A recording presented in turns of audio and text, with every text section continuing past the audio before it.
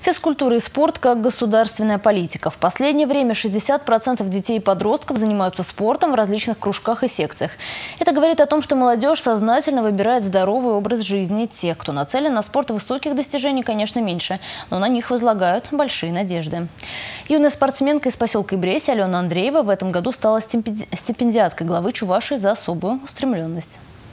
Алена Андреева – гордость всего Ибресинского района. В свои 17 лет она уже стала чемпионкой России по горному бегу и четыре раза чемпионкой Чувашии по зимнему полиатлону. Я очень люблю бегать, ну, занимаюсь спортивной деятельностью. Люблю учиться, познавать новые. В школе тоже отлично, отлично учусь.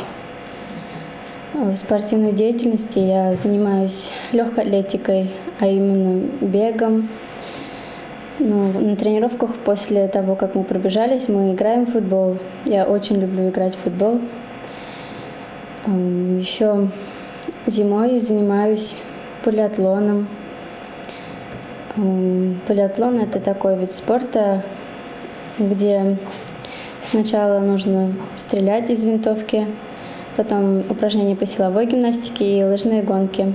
18 золотых медалей, 9 серебряных и 2 бронзовых. Так выглядит личная копилка и бресенской чемпионки. Награды и призовые места Алена начала получать уже с первого года активных тренировок, а именно 6 лет назад.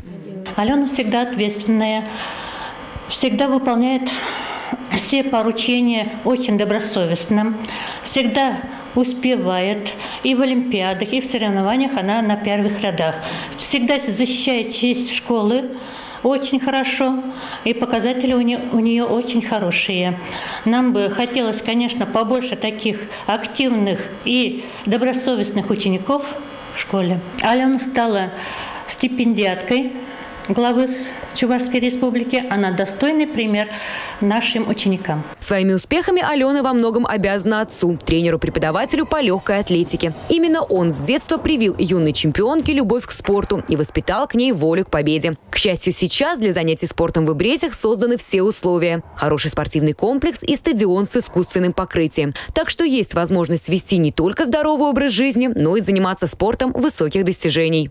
Мне нравится в спорте то, что там нужно всегда работать, не надо бездельничать, э, не надо просто, просто так жить. В будущем я хочу поступить в военную академию. Ну, там тоже нелегко учиться, нужно тоже тренироваться, тоже стройподготовка, ну и так далее. Туда поступить тоже непросто, нужно зачеты физически сдавать.